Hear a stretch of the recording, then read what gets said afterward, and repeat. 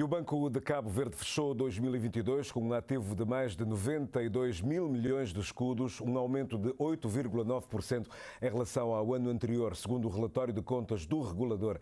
Este crescimento deveu-se ao aumento dos ativos de operações de política monetária e à evolução positiva das reservas cambiais, impulsionadas pelo comportamento positivo dos ativos sobre o exterior, lê-se no documento. Contribuíram para o capital negativo do BCV as medidas de política política monetária restritivas adotadas pelas principais autoridades monetárias globais e o resultado determinado pelo efeito negativo da flutuação, da flutuação cambial dos ativos em dólar no último trimestre de 2022. Quanto aos ativos no exterior, as reservas cambiais aumentaram 10,21%.